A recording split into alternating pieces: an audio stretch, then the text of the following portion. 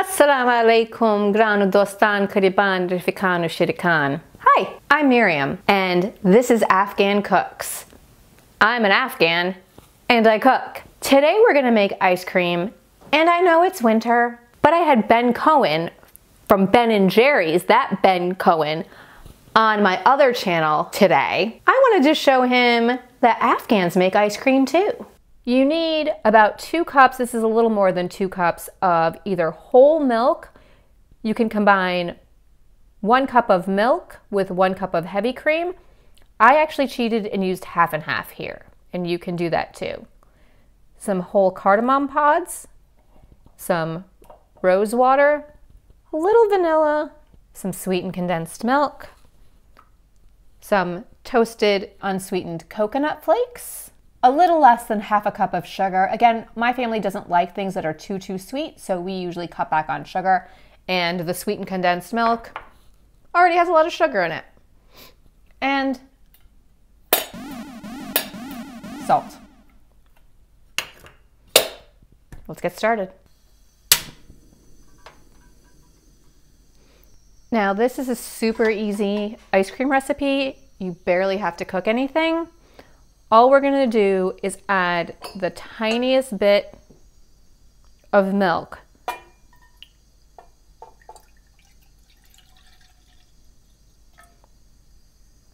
So that we can add the sugar and have it dissolve so in your ice cream you don't get crunchy sugary bits.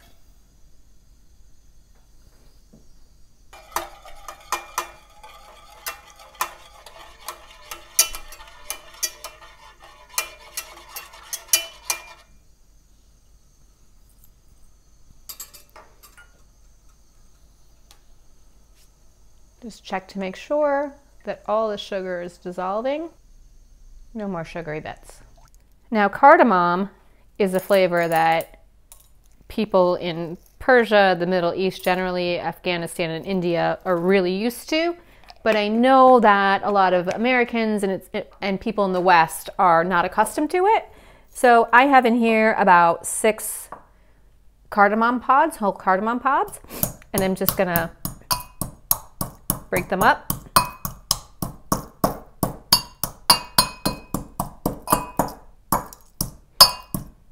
So, so I use a large Pyrex measuring cup because um, it's easy to pour from into my ice cream container.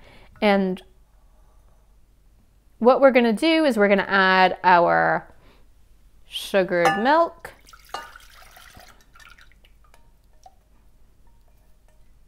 the rest of our milk. In my case, it's half and half.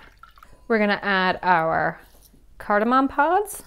We're gonna remove those, okay? Because nobody wants to bite into a cardamom pod. Yum. And then one can of sweetened condensed goodness. Now the sweetened condensed milk is what gives our ice cream a little bit of a different texture from traditional ice cream made in the West. In other places, such as Egypt, they use um, gum to thicken their ice cream so it's fairly chewy, but kulfi and other ice creams that have a little bit of a bite to them are made with sweetened condensed milk. And now you want to add your rose water. Now, you can buy this in any Middle Eastern market, but you can actually buy this at our Walmart. So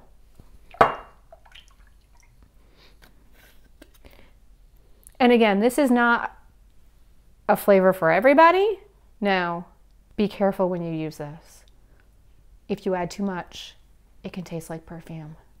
I'm gonna add a really a pinch of salt into this as well because salt adds a ton of flavor one quarter teaspoon of vanilla. That was a half a teaspoon of vanilla. I'm sorry, I misspoke.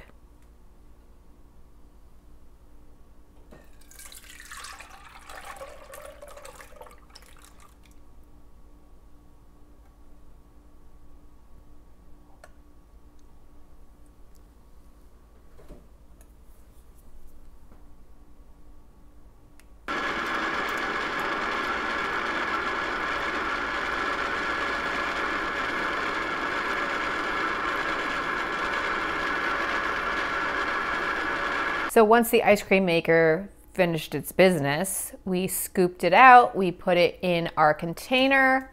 You can use any container at all as long as it's airtight so you don't get ice crystals. Put it in the freezer to freeze for a couple of hours, and then we put this lovely label on it. Um, and even though it's a rose and cardamom, we called it equal just ice, ice. Get it? Just ice cream. So I brought out some toppings that Afghans enjoy. Um, this is called Rooh Afza, and it is a rose flavored syrup. Honestly, it's it's a bit strong for a lot of Western tastes, but we really like it. Just use it sparingly. Um, I like to add some sprinkles to the top.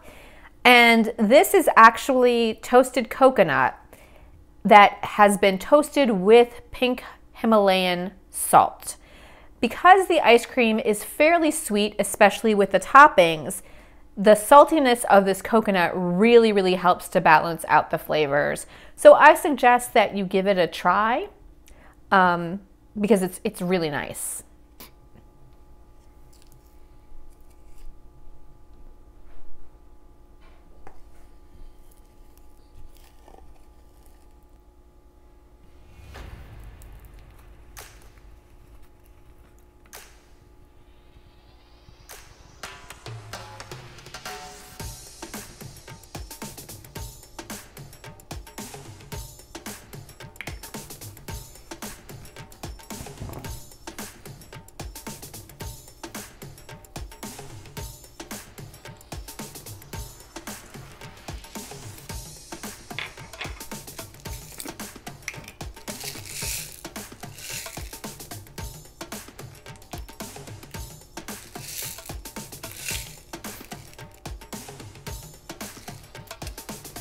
Thanks for joining us today on Afghan Cooks with the Afghan who cooks. If you enjoyed this video, please, please, please subscribe, give it a thumbs up, and click that bell notification because we plan on having a lot more fantastic recipes.